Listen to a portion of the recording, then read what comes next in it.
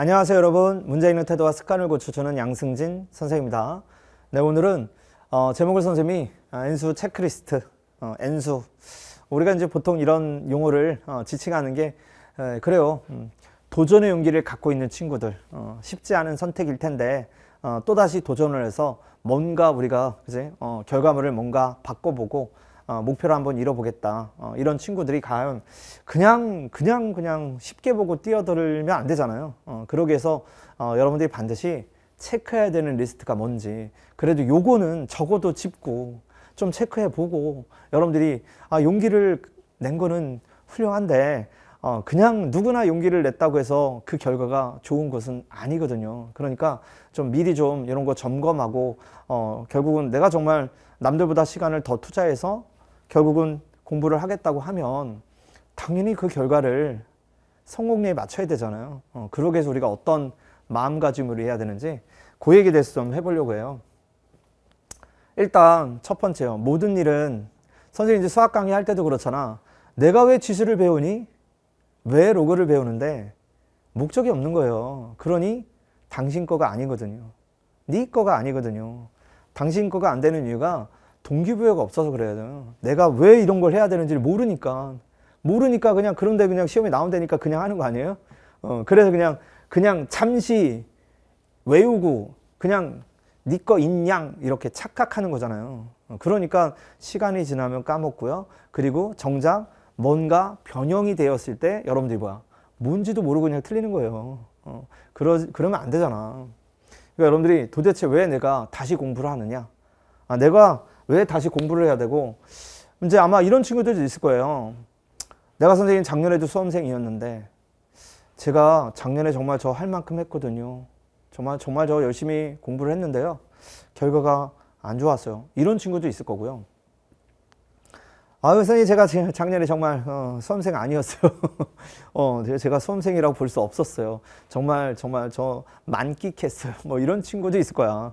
공부를 너무 안 했는데 아, 근데 갑자기, 아, 이제 졸업을 해놓고 보니까, 어, 갑자기 공부하고 싶어진 거야. 뭐 이런 친구도 있죠. 네. 아유, 선생님 주변에 그런 친구들 많고요. 선생님 가족 중에도 많아요. 어, 그러니까 그런 친구들도 있을 거야. 근데 뭐가 됐든 여러분들이 뭔가 다시 공부를 하겠다면 반드시 여러분들이 내가 왜 이걸 이렇게 깊이 있게끔 다시 수험생활하는 게 쉬운 선택이 아닌데 선생님 22년 동안 고3 생활 지나가지고 이렇게 찌드는 거 아니야. 어? 쉬운 일이 아니라니까요. 어, 허리도 망가지고, 눈도 망가지고, 뭐, 다 망가져요. 어, 그거를 여러분들이 다시 도전을 해야 되는데, 쉽게 보고 그냥 도전하고 이런 게 아니라는 거죠. 어, 반드시, 어, 공부를 열심히 했는데도 만약에 결과가 안 좋았다면, 내가 공부를 열심히 했던 그 방법론에 문제가 있는 거잖아요. 내가 수능이 뭔지를 모르고 공부했다는 얘기거든요. 수능에 나오지 않는 쓸데없는 거 가지고 시간을 낭비했다는 얘기거든요. 결국은 양승진을 선택하지 않았다는 얘기일 수 있는 거잖아요. 제대로 공부를 안 했다는 얘기야.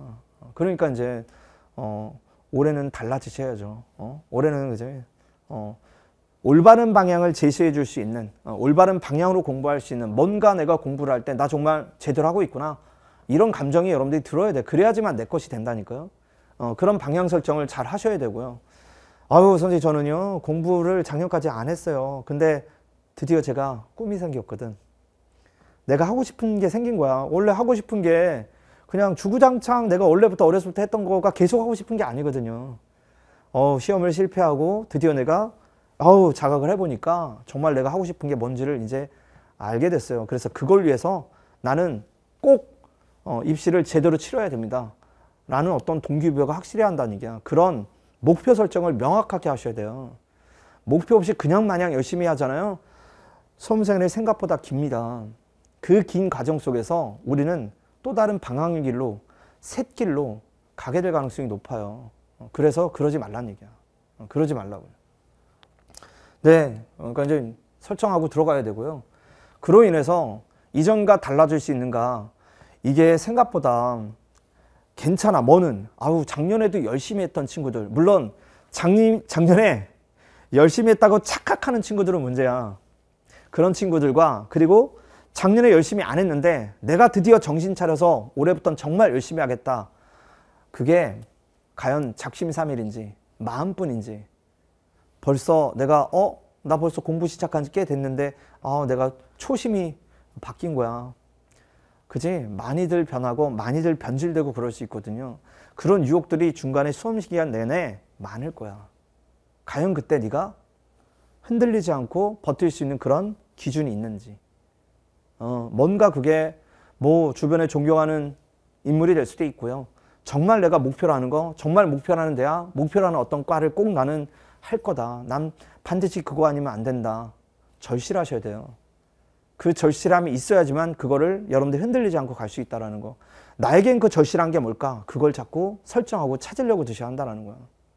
어, 선생님이 가장 요새 그 어, 친구들, 제자들 보면서 걱정스러운 부분 중에 하나가 그거예요. 절실함이 없다.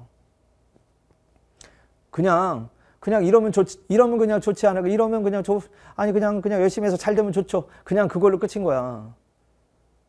그런 생각을 안 갖는 사람이 없어요.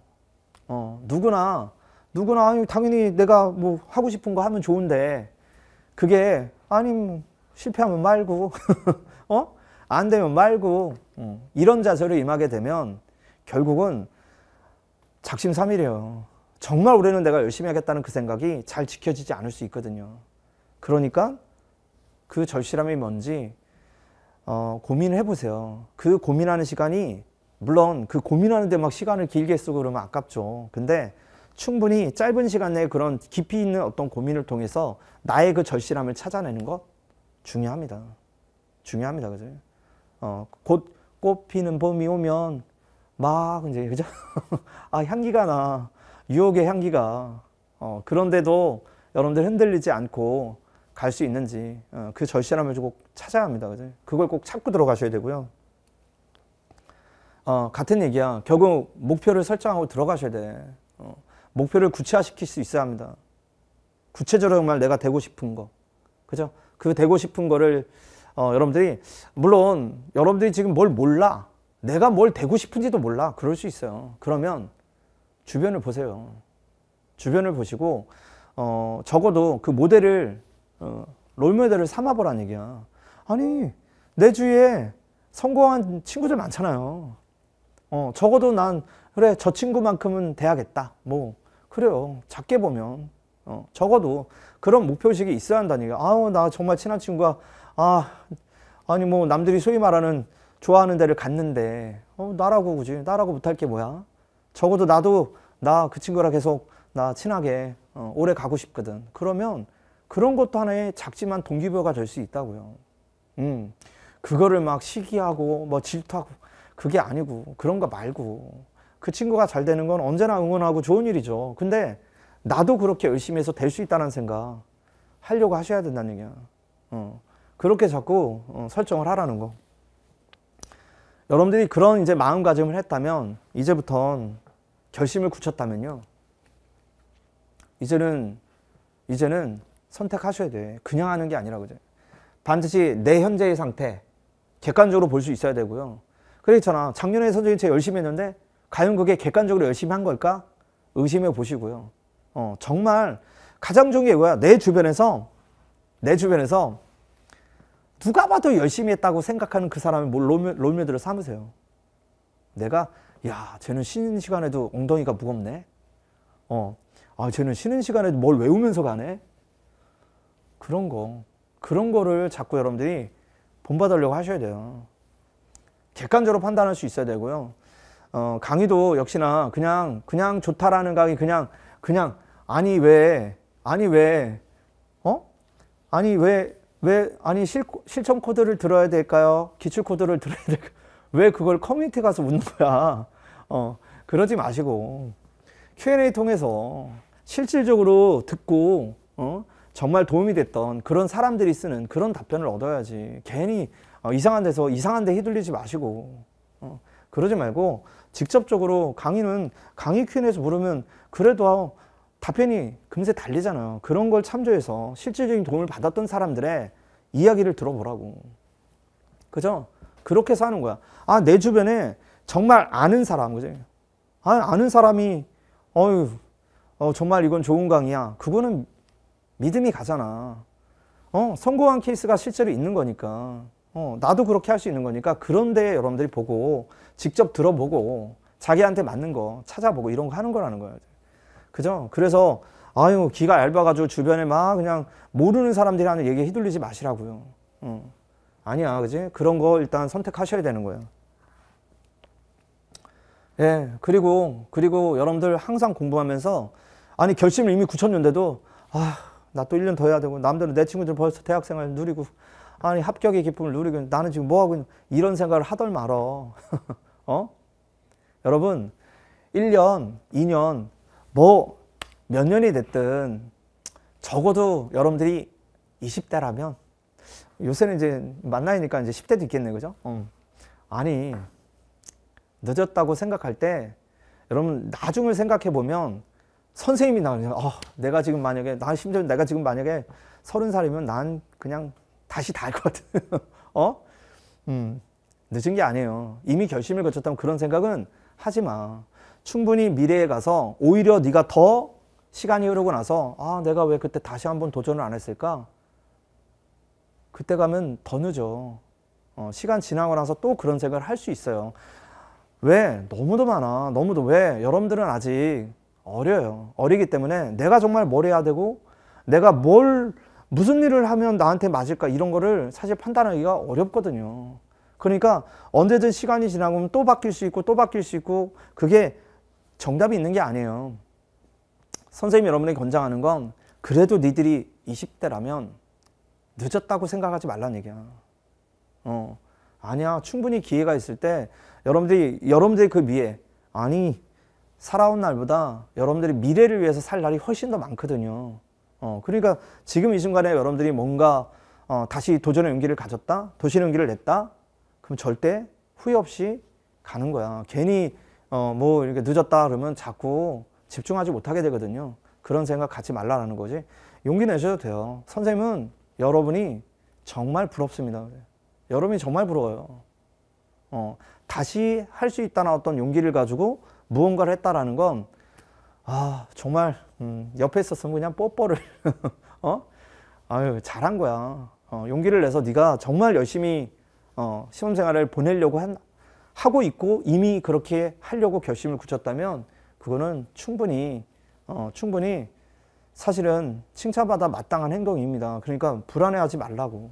어, 불안해하기 시작하면서 여러분들 멘탈은 흔들리게 돼 있거든요. 그럴 필요 전혀 없어요. 부끄러운 게 아닙니다. 아시겠죠? 어, 그걸 좀 명심해 주시고요. 제일 중요한 건 그쵸? 주변에서 내가 아유 내 신분이 그지? 아유 그냥 내 신분이 제일 하천한 신분 아니야. 어? 아 그래도 그럴 수 있어. 수험생이 그럴 수 있죠. 수험생활 동안에는 정말 아침에 나올 때와 집에 들어갈 때 생각이 바뀌거든요. 그런데 중요한 건 누군가에겐 여러분이 소중하다라는 거야. 어, 누군가에게는 그죠? 그러니 그 자존감을 여러분 절대 버리서는 안 돼요. 어, 수험생활에서 제일 힘든 것 중에 하나가 자존감을 나를 굉장히 뭐야? 아 그냥 그냥 나는 다다 안 되고 그냥 나쁜 생각하는 거. 근데 그 나쁜 생각은 주변에 누구도 너를 그렇게 생각하지 않습니다. 네 생각이야. 내가 스스로 내가 그런 생각을 자꾸 나한테 가두는 역할을 하고 있다라는 거죠.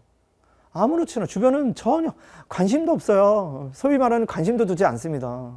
어, 그런 거야. 그러니까 실제로 생각해 보세요. 객관적으로 봤을 때 아니 네가 무슨 손생이라고 주변에 있는 사람이 너를 아니 안 좋게 생각하고 욕하고 이러지 않아요. 그냥 안타깝게 생각할 뿐인 거죠.